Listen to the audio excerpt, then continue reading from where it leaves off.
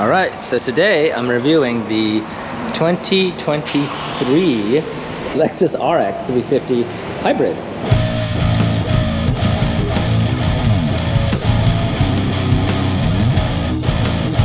So this is a loaner um, that I got from the dealership as I am um, doing some work on my 2017 Lexus GX 460 Premium. Um, yeah, just a bit about that. There is a um, squeaking noise coming from the belt. I think it's a serpentine serpentine belt that needs to be changed. Plus, I'm doing 60,000, even though it's like 57,751 miles. I think I'm doing the 60k service plus um, uh, doing an oil change again. So yeah, so a bunch of work getting done to it. But yeah, so I'm here with this beauty, a Lexus RX, a new one. Um, you know, the the front, it's always looked like a beluga wheel to me, but I guess in the in this color it doesn't look so good. I don't know what this color is. It looks like a silverish, bluish, grayish kind of uh, paint. But um, yeah, on the copper paint, the the um, the front looks the good. It's it's a very striking color, but this is a very neutral, mild color. Um, not my favorite. If I bought something like this, I'd buy either the copper or the red. Um, again, very nice. Uh, the the single LED strip there and uh, yeah so this is the exterior. Uh, I do like that when you lock it the mirrors fold in which is really nice. Um, that also is there in my GX but I have to manually hit a button. It doesn't do it automatically unless you know you mod it which I don't want to mod. But oh so when I touch this it should open up. The interior is the new interior for Lexus with a huge screen. I don't know if that's a 14 inch screen but I'll get to that in a second um, so just a quick walk around. Let's start with the trunk area. Um, so let's see, where is the button? All right, here it is. And we've got the, oops, why doesn't it open? There we go. All right. So it's got a good amount of trunk space. Also, this I, I, I'm not really um, liking the darker interiors. I like the light as I have the ecru color or the beige tan color in my GX. I have the same similar um, lighter color interior because the, the, the, darker or black or brown, dark brown colors make it look like a, a cave and I like to have my interiors more airy.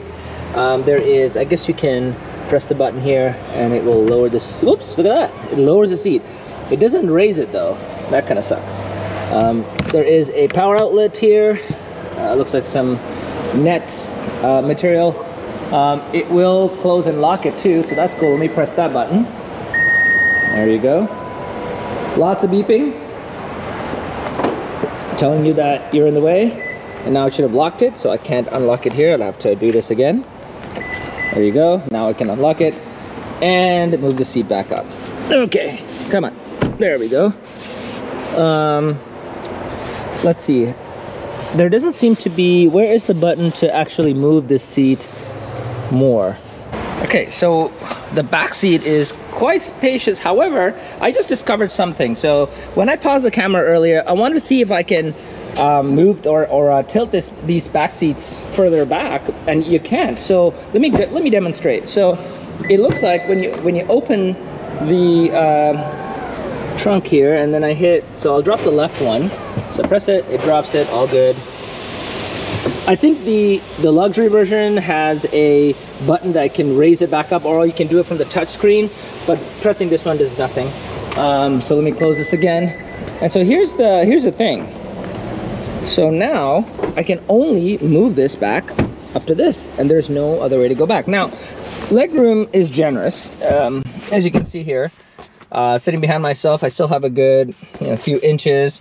So I'm not uncomfortable. I'm pretty comfortable here.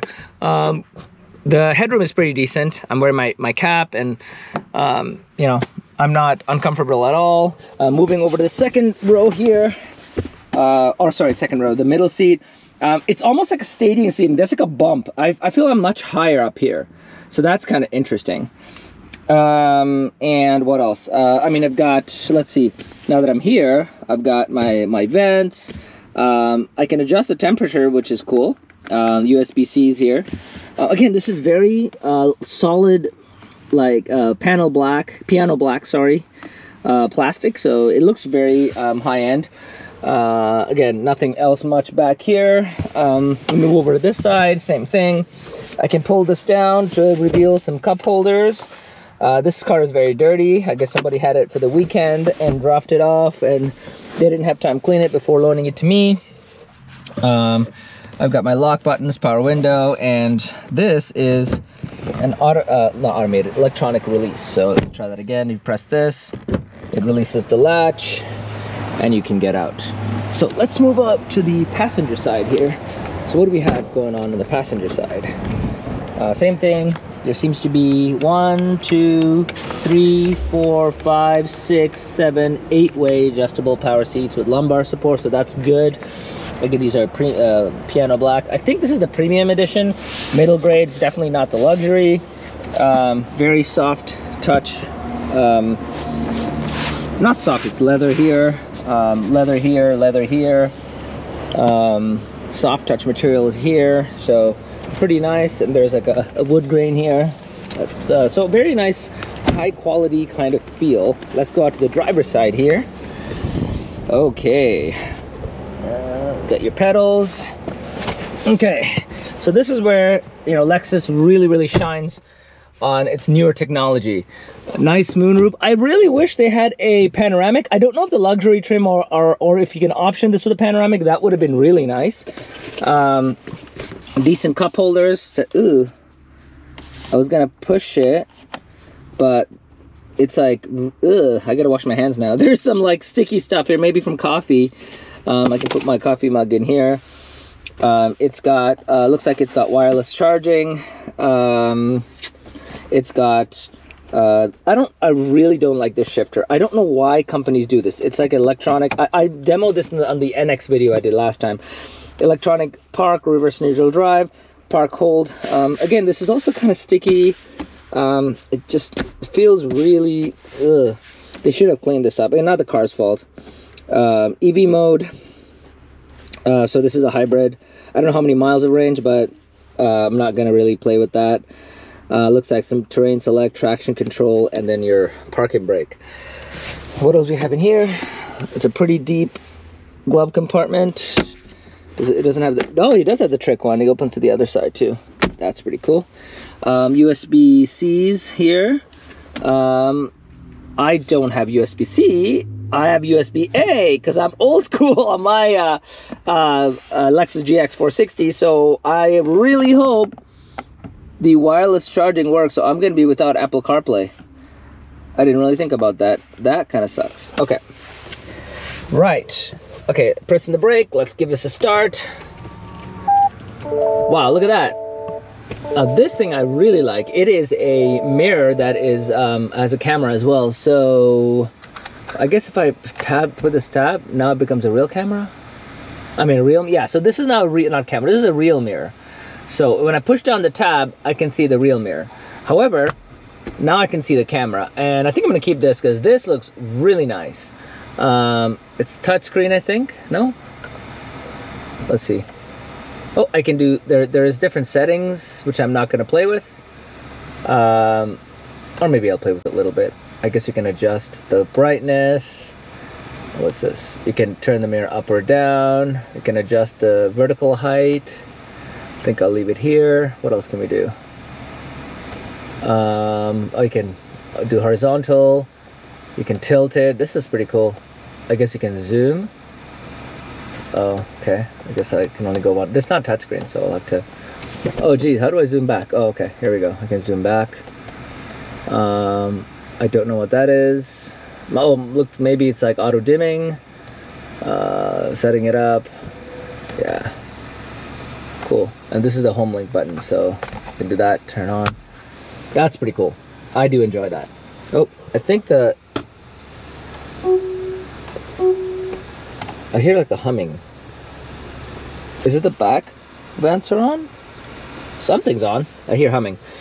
Now this screen is the piece de resistance, man. This is like awesome. Look how big and clear and I mean, it's so responsive. It's like my iPhone. I can pinch, I can zoom. Sorry, uh, pinch and zoom. Actually, I, maybe let me rephrase that a bit. When I pinch and zoom, it is a little bit laggy, but I mean, I can pan pretty well, so that's cool. Um, so this is, I, I'm assuming this is shared with the new Toyota infotainment system too. I reviewed some of this in the NX.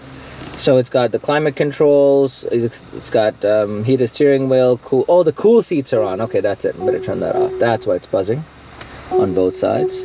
There we go. Turn that off. Um, this is your climate control. It's on EV or electric mode. Yeah, it says EV right there, but I guess if I hit this button, oh, that's turning on on EV mode. Okay, so it's just charging.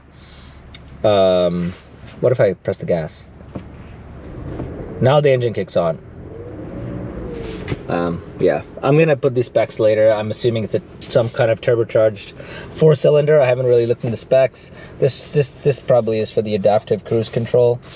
Um, yeah, let me go through more of these. Um, navigation, drive mode, normal, eco, sport. Ooh, it changes graphics and it changes graphics here too. That's pretty cool, huh? Okay, eco and normal are the same. Uh, it is all-wheel drive, so it shows the the amount of power going to each wheel. But this, uh, let me let me check the voice commands here. What is the weather right now?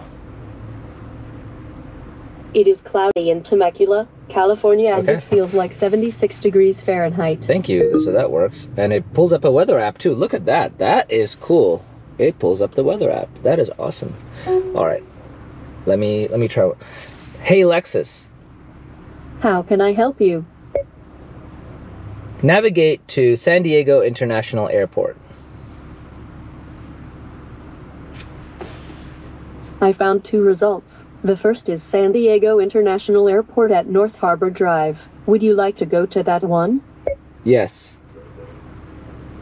Calculating route to San Diego International Airport. Proceed to the highlighted route. All right. Looks really cool. Can't. Hey Lexus, How can I help you? cancel the route. Canceling trip. I think this is really cool. So the whole the whole Hey Lexus thing always works. So um, and see that I I I said Hey Lexus in a statement. Oh, it did come up now. Oops. That's interesting. Okay, stop, stop, stop, stop. Okay. All right. So what do we have here? We have some uh, some menus. This is the usual uh, radar cruise control, media, all that kind of stuff. This looks pretty similar, if not exactly, to the new NX. Uh, it's good odometer, trip meter. How many miles has this thing done? 4,508 miles, so pretty new car. Power seat settings are always good. Oh, there's three. I have two in my GX, and I can open the fuel door or the um, open and close the truck. Oh, there it is. So now it's there. I mean, yeah. So this is CarPlay. It comes up. I mean, yeah, it's cool that it has wireless CarPlay. It just doesn't really work. Uh, well, it works. Sorry, but I probably don't know how to operate it right now. Probably not doing something right. Um, what's this? Okay, so here I can open up the and close up the moonroof, and I can tilt here as well. So that's cool. Oh, what's this door here? Oh, this is probably for door lamps. Yeah, all in all, this is a very, very um, nice, luxurious-esque interior. It's got, oh, it's got uh, tilt and power tilt and telescopic, like my Lexus GX. Uh, I wonder if it has the climate concierge thing. Okay, so here you got rear camera detection. Oh, so you have a frequently used menu, so that's kind of cool. Um, so it doesn't really, uh, I don't know, we'll see. I guess I can turn it on. If I put auto, yeah, it'll come on. Um, I can set my, can I sync it? Yeah, I can sync it. Uh, I could set maybe 75 degrees, and now it's cooling up here. It's pretty cool. All right, let's go for a drive. All right, driving the new Lexus RX 350 Hybrid. Cool. As soon as I plugged in the seatbelt, everything came up. Press the big power button, and I hear nothing because it's a hybrid. You guys know my thoughts on that. Um, great for gas mileage, zero amount of fun for uh, enthusiasts. Enthusiasts. All right, has key charging. Uh, I do have my Apple CarPlay. I should anyway. hopefully it should show up here. There's something called proactive drive assist. See, I'll put that on and see if it's intrusive or not. I don't know what that is, but it has all the other cool stuff like rear camera detection, rear cross traffic alert, blind spot monitoring. But what I would really like to do is hit my cool seats. I saw that. Oh, there it is. There it is. Okay. Let's hit my cool seats here. Get those on. Okay. I like that these buttons are nice and round and, and they're physical buttons. I didn't see CarPlay roll up. And that is strange. Let me try that again. Let me unplug and plug it in.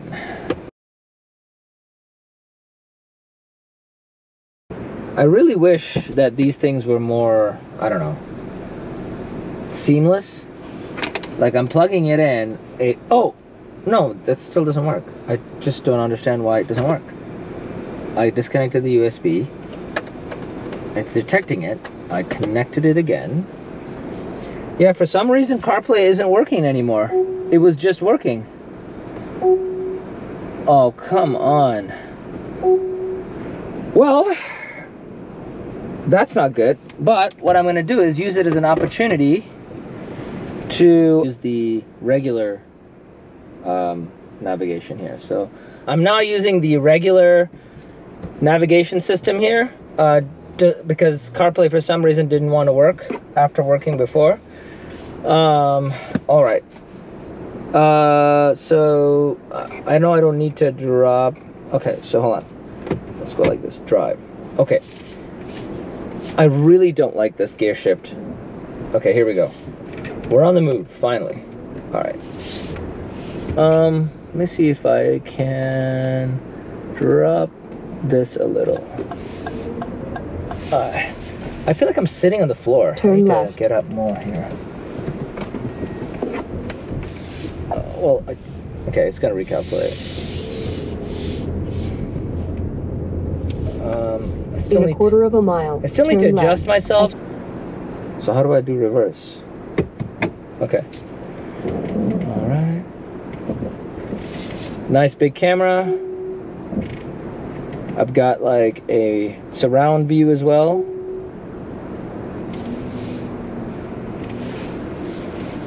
All right. I guess once you get, oh, hold on. Before I, I move ahead, I do want to adjust the mirrors. Uh, right.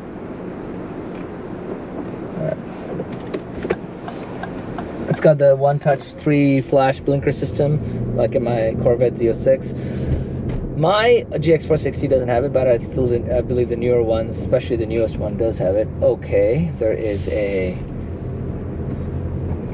tricked out 86 there, and I guess the car carrier. Really not comfortable Turn left. At the end of the road, my, uh, onto Ynez there we go. Road. This camera system is really cool, but also I'm getting used to it. Uh, I can't turn left because this is a one-way only, so it's going to have Turn to left. recalculate me, which is fine.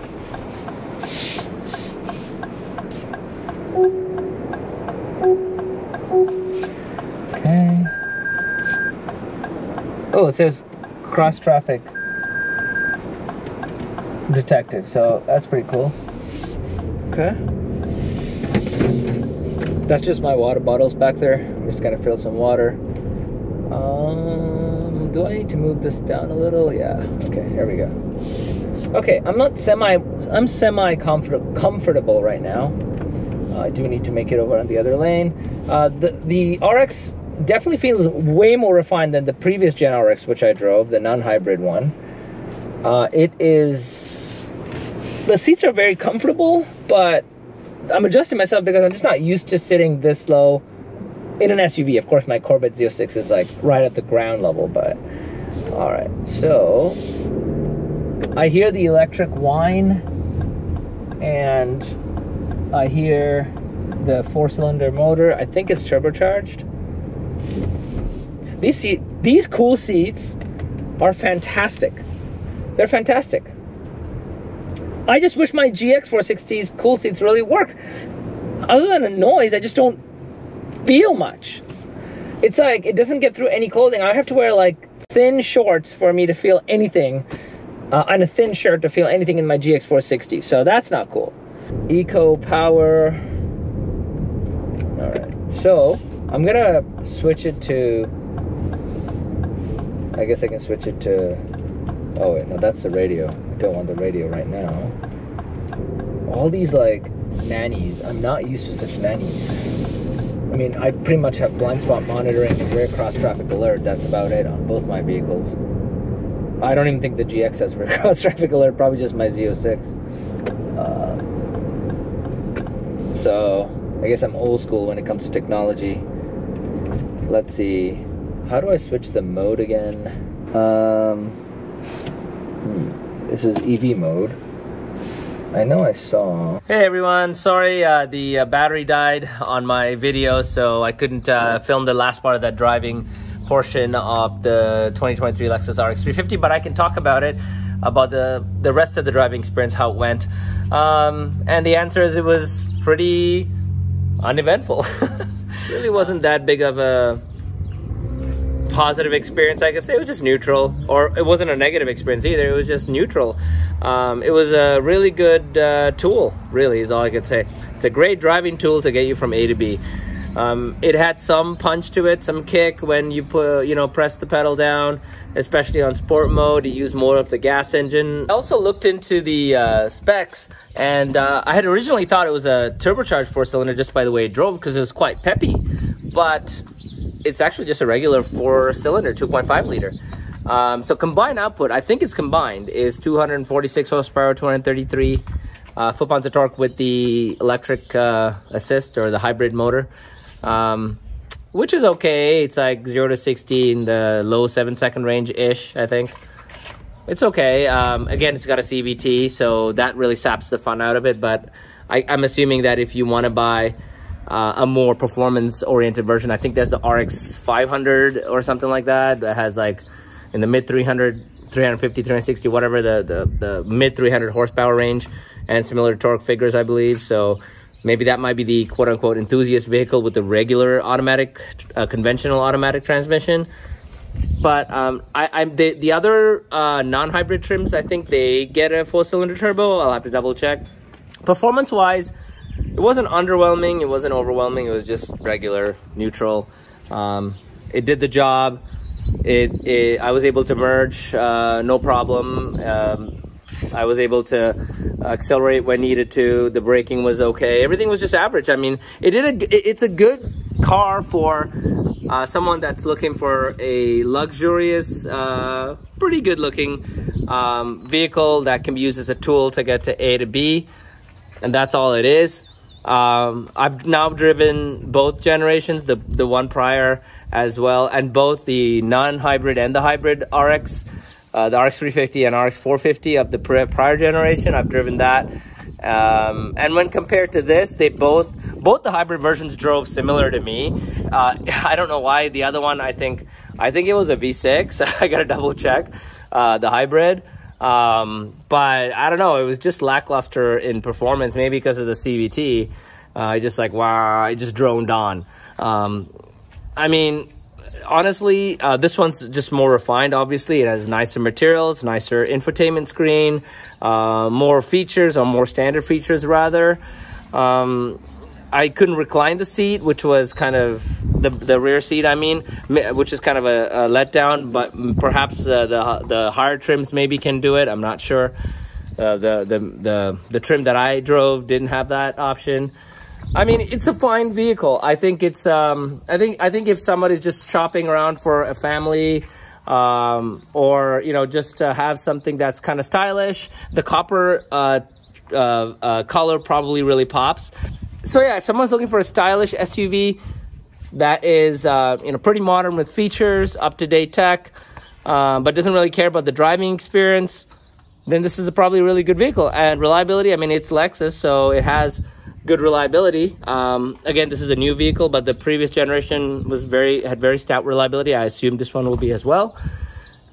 Other than that, um, the performance version of this RX might be more enthusiast uh, minded or fun to drive, quote unquote. I don't know. Uh, the cockpit was really nice. The steering wheel was really nice. um, yeah, I uh, I mean personally it's not a vehicle for me. I'm more of a GX kind of buyer uh, for a car or SUV. I like a, a true four wheel drive, a, um, body on frame kind of thing, um, kind of vehicle. So yeah. Uh, and my fun car, of course, will be a Corvette. So I, I do like manual transmissions for my sports cars. Um, but um, yeah, so anyway, thanks for watching my video. Um, I enjoyed uh, reviewing it. I've always wanted to um, kind of drive it, and I was blessed with the opportunity that the dealership had a loaner car that was the new RX, so that was cool. Um, and um, yeah, I think uh, it's a really good car for anyone that just kind of wants a Lexus. Um, I don't know about price point. I think it's somewhere in the uh, high 40s to mid 50s, possibly. Um, again, I think it ranges, probably can get to the 60,000 range, probably in a higher trim, I would imagine. I haven't really looked in the prices. This is all speculative. Um, I, uh, it's probably a, priced accordingly for that kind of market. Um, but uh, yeah, again, thanks again for watching and have a blessed day. Take care.